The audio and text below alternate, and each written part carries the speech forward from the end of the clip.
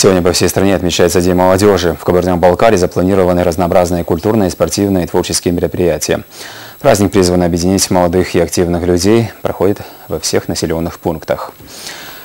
Воздушные шары, песни, мороженое и не только. В Баксанском районе праздник отмечают с размахом. Организовали его Министерство по делам молодежи КБР, администрация муниципалитета и районное отделение партии «Единая Россия». Молодежь – будущее не только Кабардино-Балкарии, но и всей России, отметили собравшиеся. Пока на сцене выступали начинающие артисты местной эстрады, на спортивных площадках соревновались в борьбе за лидерство по настольному теннису и армрестлингу. Малышам предложили попробовать свои силы в рисунках на асфальте. На память им вручили карандаши и альбомы.